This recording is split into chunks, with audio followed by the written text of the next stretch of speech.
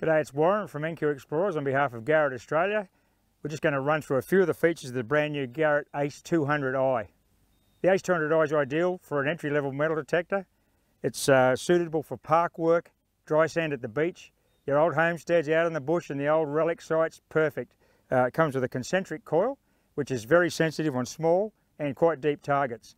It runs at a uh, medium frequency and has notch discrimination modes, which allows you to set or forget any particular item. You can take out your low end iron and still dig your sweet signals like your silvers, your coppers and your gold signals.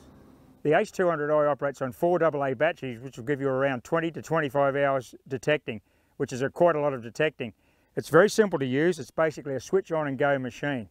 It comes with an instruction manual which is pocket size so that you can refer to the manual in the field and it also has uh, a sensitivity adjustment which you can allows you to get into ground where you might have a bit of chatter if it's a bit of mineralization. You can still use this concentric coil with a fixed ground balance. You just have to reduce your sensitivity slightly. A great new feature on all the ACEs, the 200, 300 and 400i is the CamLock system. This is basically the same system that's on the Gold and the AT Pro, cam locks and telescoping shaft. So that's a really great feature. It's robust, it's rugged, you can knock this thing around and you'll have no problems with it. The big new feature on these ACE machines is the digital target ID. Similar uh, into the AT Gold and the AT Pro, you now get a, a digital reading from 0 to 99 of the conductivity of the target you've detected. This allows you to discriminate iron from gold and lead, from bronze and copper and silver. In this way you get more information coming back to you from the machine and you can make a decision whether or not to dig a target. It saves a lot of time and it's a really sophisticated feature. This way you can suit the machine, you can program the machine to the relic or coin area that you're hunting to suit the environment and what you expect to find when you get there. Let's now have a look at the controls on the 200i.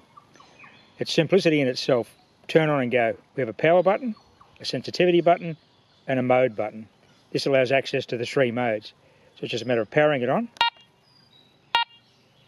Get a battery indication there showing you whether the battery's good or not it's not a constant meter, but it will show when the battery is low. You have a sensitivity gauge there, a depth gauge based on a coin size object, and the row of pixels along the top, the five notches, show you what you've accepted or rejected in your settings. At the moment we're on zero discrimination in the mode. If we now manipulate the mode button to move to jewellery, you can see that now takes out all the ferrous items. The next press of the mode button takes us to the coins mode which takes out all the ferrous items and most of the low conductive medium tone items. Let's now have a look at the unique digital target ID system on the ACE 200i. I'm going to demonstrate this with a flat iron nail representing a low conductive ferrous item and a high conductive item, an Australian sterling silver shilling.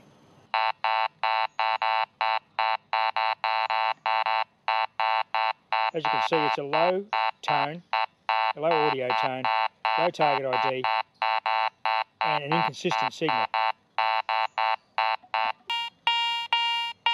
Very consistent, high tone audio, and a high target ID.